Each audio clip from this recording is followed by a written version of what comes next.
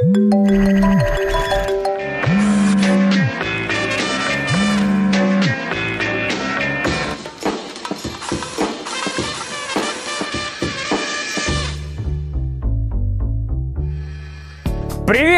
Вы уже почувствовали? Нет?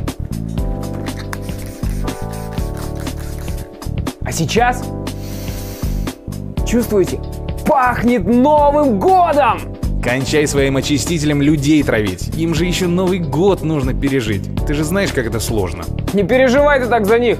О себе лучше подумай. Хватит, гаджет! Ладно, пора нам с тобой, голосок, реально подумать о подарках и вообще, где будем встречать Новый год. Ну как раньше говорили, лучший подарок — книга. А сейчас лучший подарок – книга с аккуратно вложенными в нее купюрами. У меня есть идеи, что дарить, но предупреждаю сразу, подарки не дешевые. Ты нас не пугай. Лучше рассказывай. Xbox 360 плюс Kinect. Самая свежая игровая консоль Microsoft с 4 гигабайтами памяти, плюс самый нерядовой контроллер на рынке Kinect, плюс игра Kinect Adventures в комплекте. Всего-то за 16 тысяч. Дешевле, чем приличный современный смартфон. Заманчиво смотрится в качестве новогоднего подарка, верно? Поглядим, как же это работает. Ну, с Kinect все понятно. Никаких дополнительных контроллеров теперь вообще не требуется. Каждый сам себе контроллер. Консоль стала заметно меньше, чем предыдущие ее версии. Сказался переход на новую элементную базу. Центральный процессор, графическое ядро и оперативная память разместились в последнем воплощении Xbox 360 в едином чипе. Теперь приставка весит примерно как 15-дюймовый игровой ноутбук, меньше 3 килограмм. Однако, в отличие от мощного ноутбука и приставки предыдущего модельного ряда, она шумит гораздо тише. Система охлаждения здесь пассивная, но со своими обязанностями справляется как следует. Так что играть с Xbox 360 можно хоть глубокой ночью. Эм, э, это если вы сможете достаточно тихо подпрыгивать и размахивать руками, управляя консолью посредством Kinect, чтобы домашних не перебудить. Кстати, Kinect, как вам известно, использует систему инфракрасной подсветки, чтобы распознавать жесты пользователя, так что работать с консолью можно будет даже в темноте. А еще новенькая Xbox 360 располагает аж пятью портами USB. Плюс ко всему в новую консоль уже встроен адаптер Wi-Fi, так что выход в интернет через домашний роутер для нее не проблема. А раз открыта дорога в онлайн, значит да здравствует онлайн-баталии и недавно стартовавшая в России служба Xbox Live.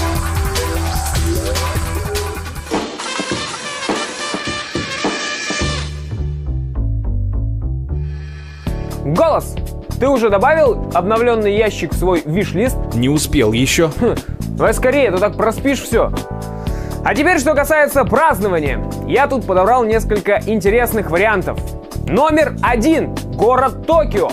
Плюс в том, что тусовки в нем начинаются уже с 29 декабря и продолжаются целую неделю. Но только есть одна большая проблема. Рестораны и бары на этот период закрываются. Отстой. У нас народ пить начинает еще 25-го. Тусовки везде и бары с ресторанами всегда открыты. Окей, окей, окей. Вариант номер два. Ниагарский водопад, что в Канаде.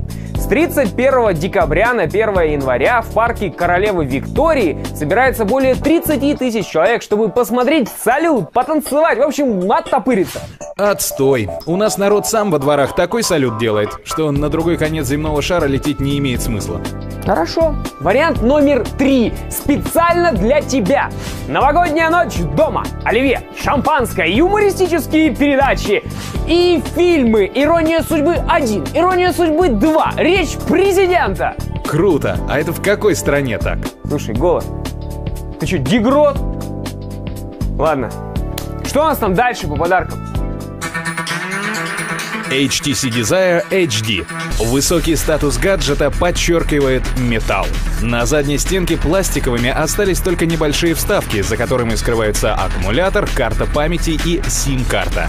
Аппарат получился увесистым. Сборка добротная, корпус ухватистый. Камера на 8 мегапикселей с парой светодиодов делает очень неплохие снимки. Кстати, на передней панели отпечатки пальцев все же остаются. Она стеклянная, и тут уж ничего не попишешь. Зато дисплей с диагональю 4,3 дюйма сенсорный, с мультитачем.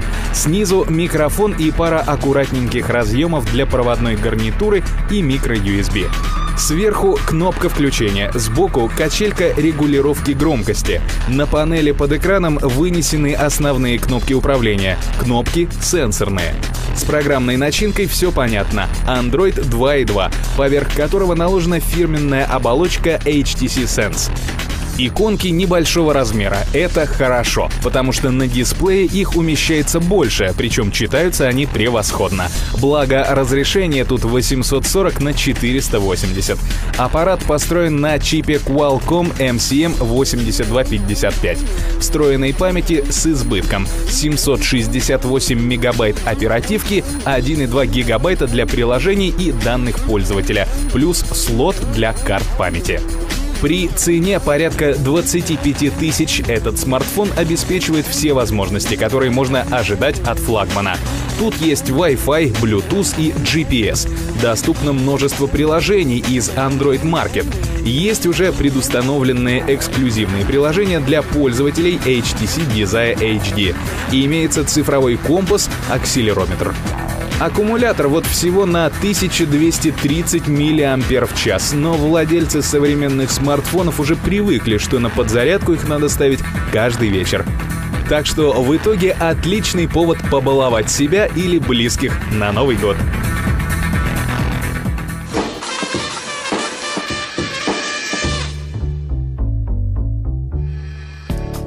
СТГ. Есть два тупых гаджета в этой рубрике. Нашел я их очень быстро, просто вбил в гугле гаджеты для Нового года и все. Вот что получилось. Самым тупым гаджетом для Нового года становится вакуумный, а главное розовый пылесос для клавиатуры. И второй. Детский автомобиль Audi 350 баксов, и ваш ребенок будет в восторге. Между прочим, эта машина выполнена с применением технологий концерна Audi. Даже резина! Слышишь голосок? И та настоящая.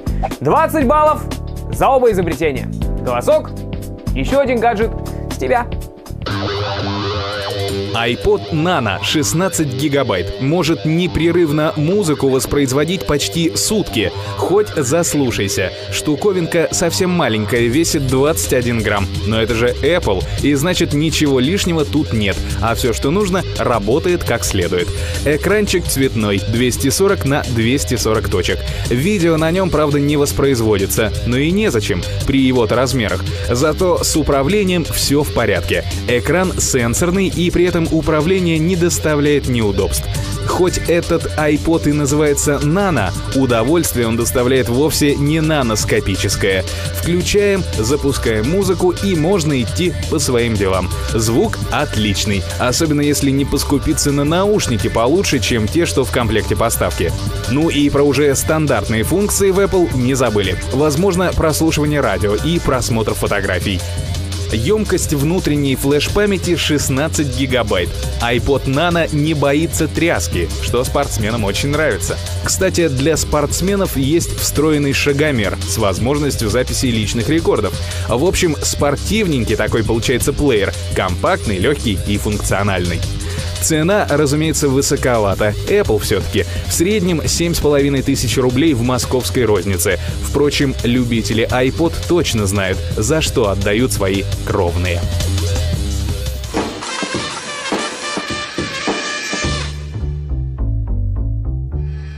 Вот и подошел к концу выпуск и 2010. Было отлично с вами все это время. И с тобой, кстати, тоже. Наступающим! Увидимся в НГ! С наступающим! С вами был весь этот год инспектор Гаджет. И помните, я докопаюсь до правды. Чмоки! Пока-пока!